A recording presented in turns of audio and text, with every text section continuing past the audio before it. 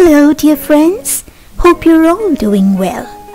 Today's story is Rocks, Pebbles, and Sand. So let's get started. A philosophy professor once stood up before his class with a large empty mayonnaise jar. He filled the jar to the top with large rocks and asked his students if the jar was full. His students all agreed that the jar was indeed full. He then added small pebbles to the jar and gave the jar a bit of a shake so that the pebbles could disperse themselves among the larger rocks. He then asked again, Is the jar full now? The students agreed that the jar was still full. The professor then poured sand into the jar to fill up all the remaining empty space. The students then agreed again that the jar was full. In this story, the jar represents our life, and rocks, pebbles, and sand are the things that fill up our lives.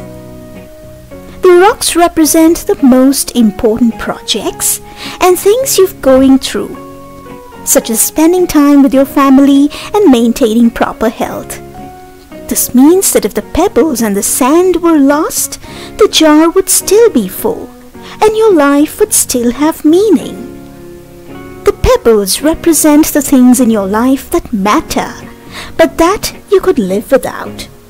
The pebbles are certainly things that give your life meaning, such as your job, house, hobbies, and friendships.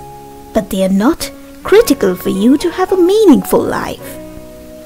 These things often come and go and are not permanent or essential to your overall well-being.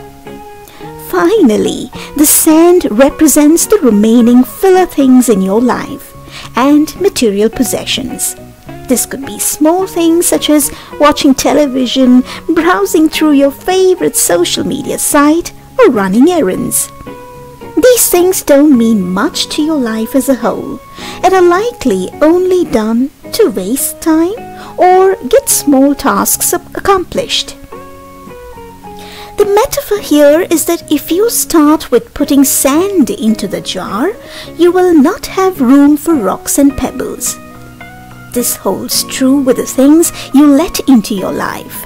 If you spend all your time on the small and insignificant things, you will run out of room for the things that are actually important.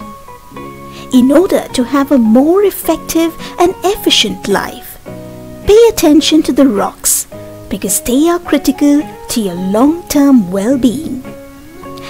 Hope you liked today's story. See you again with another one soon.